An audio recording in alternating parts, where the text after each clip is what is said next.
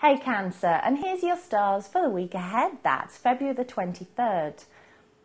Don't feel you have to get involved in someone else's problems if an instinct tells you to keep well away. You aren't obliged to help out. Do so only if you want to. Also, try not to be too rigid in your thinking.